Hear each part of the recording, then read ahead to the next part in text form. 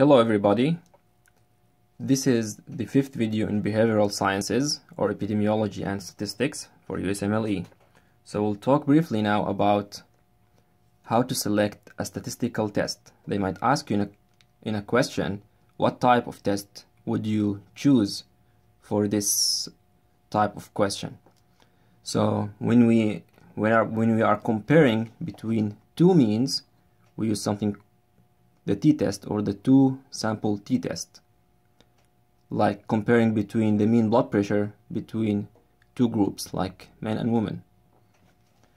The z-test or the two sample z-test is very similar to the t-test but it compares two means in a population not in a group like the t-test. There is another test called ANOVA test which is the analysis of variance test, it compares three or more means, like comparing the blood pressure, as we said before, between three different groups.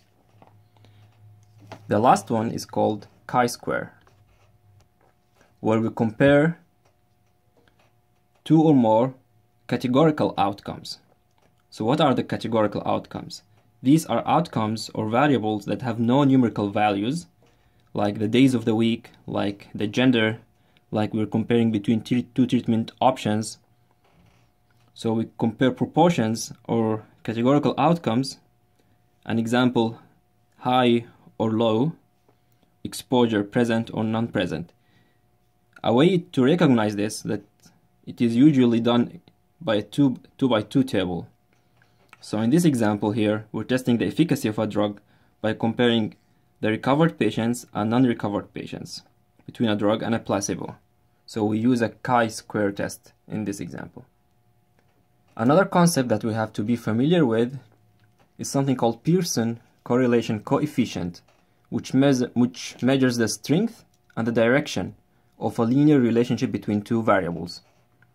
So in here, the R, which the which is the correlation coefficient, if it's zero, that means there is no correlation between the two variables we're testing, which is the null value.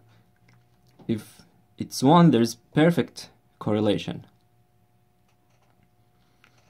What you have to pay attention is if R is positive. If it is positive, that means there is a positive correlation and an increase in one variable, in the first variable, leads to an increase in the second variable, so they go in the same direction. While if the correlation is negative, there's a negative correlation, which means an increase in the first variable leads to decrease in the second variable. If we want to demonstrate the relationship between two variables graphically, we use the scattered plots. So be familiar with the scattered plots if it's tight, if the plot is tight, it's more of a linear and it's going, it, there's increase in both axes from zero going upwards. That means a strong positive correlation. While here, there's a decrease. It starts here and decreases here. It's, it's a strong correlation because they're not scattered. They're confined but it's a negative correlation. The zero correlation, we cannot determine any relationship between the two variables. While here, it is a positive correlation, but they are scattered widely, that, that's why it's a weak positive correlation, while here, it's a weak negative correlation. That's all what you have to know about the scattered plots. Let's talk briefly about some of the rates that you might encounter in the exam so we have the birth rate, which is the rate of live birth to a population.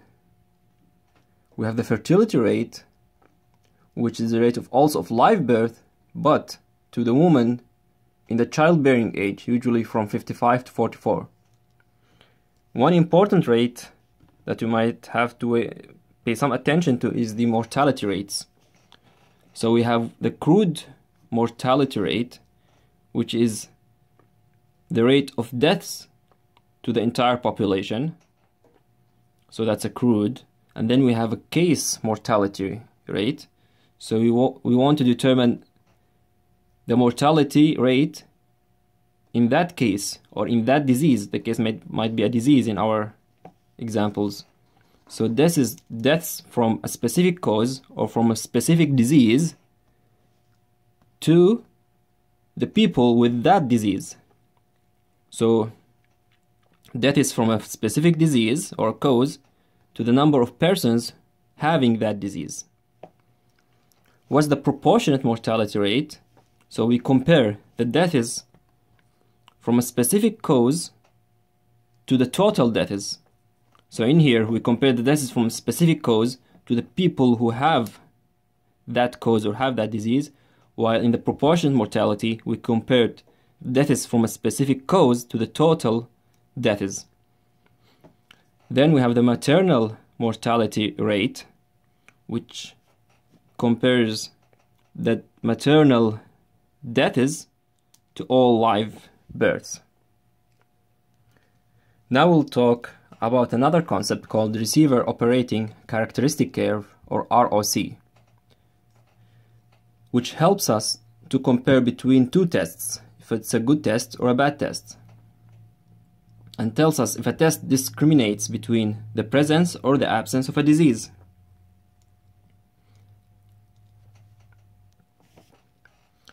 So a very good test would have the ROC passing through the left upper corner directly like this.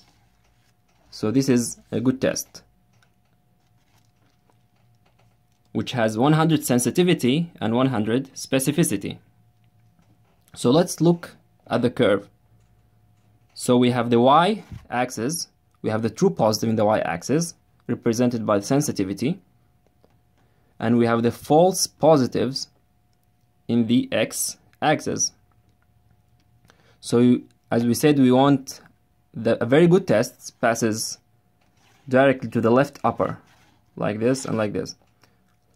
So when we go upwards, we increase the sensitivity, we increase the true positive, and we go toward the left here, we decrease the false positive, and we increase the specificity. So as we said, the closer to the curve to the upper left corner, it increases the accuracy of the test. The dashed line here demonstrates a completely random test, like coin test tossing test, we have 50% to each side. So, as we said, before that sensitivity equals the true positive divided by all people who are diseased, true positive plus false negative, and the specificity is the true negative divided by all people who don't have the disease, who are the true negative plus the false positive. The ROC curve aims to decrease the false negative and the false positive. It aims to decrease the falses, the false negative and the false positive.